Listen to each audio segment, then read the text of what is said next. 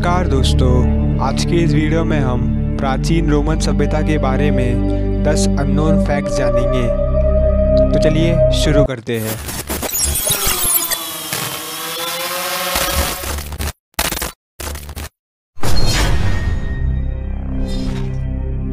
प्राचीन रोमन लोग चिकित्सा के क्षेत्र में भी बहुत ही विकसित थे। जैसा कि हम जानते हैं कि सर्जरी का आविष्कार प्राचीन भारत में हुआ था।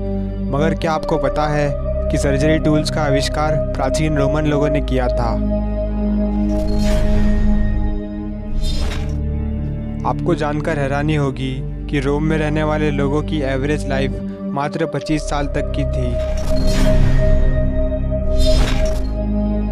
प्राचीन रोम में पेशाब का भी व्यापार होता था, जिस पर सरकार टैक्स भी लगाती थी। पेशाब का इस्तेमाल दांत चमकाने और कपड़े धोने के लिए किया जाता था। प्राचीन रोम में सार्वजनिक शौचालय भी हुआ करते थे, लेकिन यहाँ साफ़ सफ़ाई ना होने के कारण ये बेहद ही गंदे रहते थे। रोमन साम्राज्य में बैंगनी रंग के कपड़े पहनने को अपराध के रूप में देखा जाता था। प्राचीन रोम में लोग बकरी के मल को घाव भरने के लिए चिकित्सा के रूप में इस्तेमाल करते थे।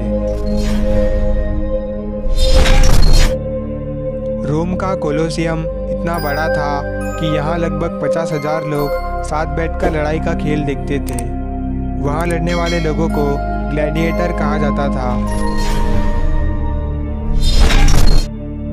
प्राचीन रोमन लोग मरने वाले ग्लैडिएटर्स और कैदियों का खून पिया करते थे। इनका मानना था कि इंसानी खून बहुत से बीमारियों का इलाज करता है।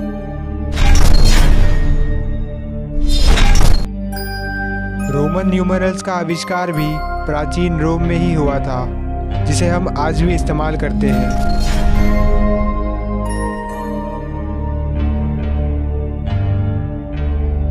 प्राचीन रोमन लोग प्लैनेट्स जैसे कि जुपिटर और यूरेनस को अपना भगवान मानते थे। और उनकी पूजा करते थे।